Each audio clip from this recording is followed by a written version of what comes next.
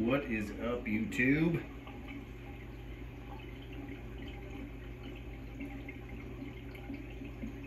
Finally swapped my son's 60 gallon cube over to saltwater. Do a little, little mini reef.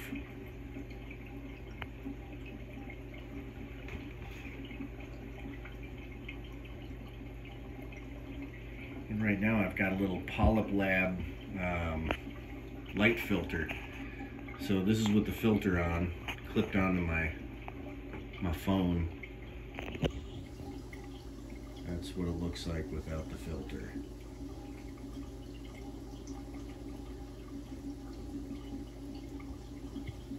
Oh, you crazy cell phones.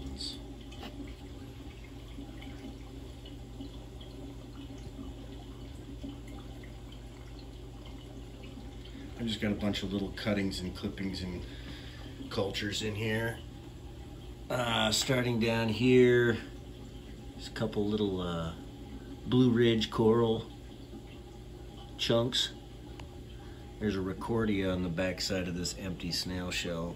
Got rolled over. I forget, I think that's a yellow turbinaria. I could be wrong. That might not be a turbinaria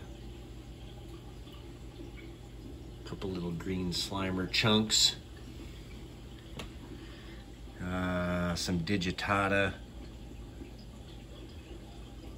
Some, uh, I think that's a spaghetti leather. Mm, some more digitata, some red um, Monty, some green Monty.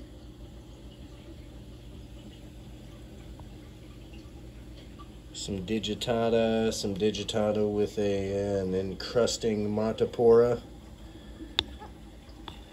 That same encrusting montipora is back there.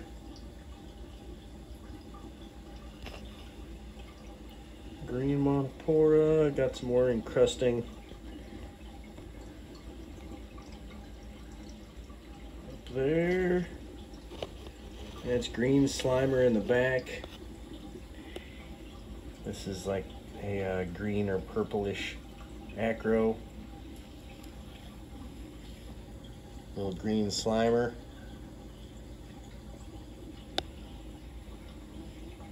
Little shelving acropora of sorts.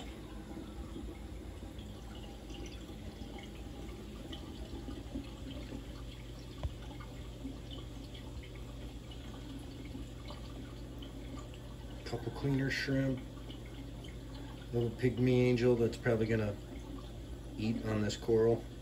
Maybe, maybe not. Yellow tang. There's a pistol shrimp in there, some hermits, little snails, a couple snails. And I know I got sloppy. See this right here, this white thing? That's super glue. Looks like crap, I know. I, I failed you. Oh yeah, and there's a little green hammer down here that was about to die one of my client's house. We'll see if it comes back.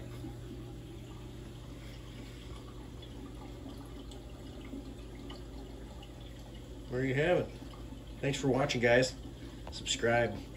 Hope you like the uh, change to saltwater, and I'll keep you updated. It's uh, it's like 12:15 today. So here you go. This tank's been up and running a week and a half.